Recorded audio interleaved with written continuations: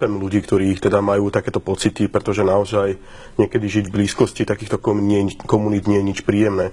Zároveň, keďže sám pochádzam vlastne z osady, tak, tak poznám v podstate ten život v osadách a nie je v podstate ten život v osadách jednoduchý. Toto je asi tretia vláda v podstate Roberta Fica. 9. rok tuším, alebo 10. rok už teda je vo vláde. Dobré ráno, pán premiér. Po 9 rokoch vládnutia zistil, že tu je nejaký problém?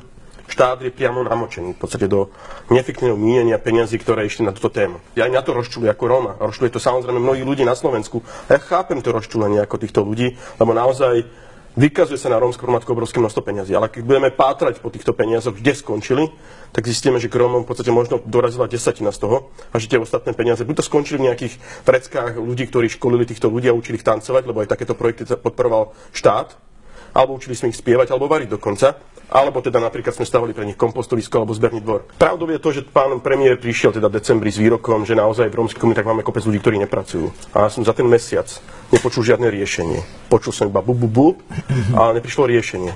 Máme tu nového spolomocenca, ktorý teda uh, naozaj je uh, podpisom strany Most Hí dokonca, teda vládnej strany. Ja som nepočul žiadne riešenie. Dokonca ani to, čo, čo teda fungovalo, reálne fungovalo v teréne, dnes nefunguje. Ako príte do osád a nefunguje. A pre mňa bububu je jedna vec, ale čo s tým? Internátne školy. Idea už e, pomerne bradatá, dodnes sa nerealizovala, pretože uh, mala podtón nedemokratických a neviem akých všetkých. Nebolo by to ale riešenie? Že čakám, že za chvíľočku pán premiér príde vlastne s touto témou, pretože pravidelne nejak ako túto tému posúva.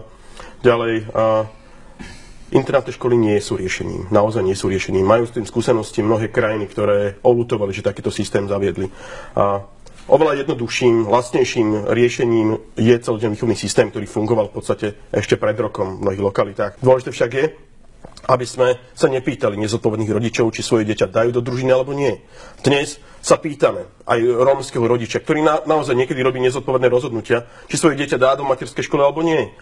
Pre tieto deti musí byť uzákonená povinná materská škola, pre tieto deti musí byť uzákonená uh, vlastne družina, alebo pre, teda celodenný systém. Tieto deti musia ísť do základnej školy na strednú školu. Dnes sa pýtame, ako najväčší demokrati, nezodpovedných rodičov, ktorých nájdeme aj v osade, aj všade inde, či ich dieťa raz bude mať vzdelanie alebo nie mene dobra tohto dieťaťa, niekedy musíme urobiť rozhodnutia, tie správne.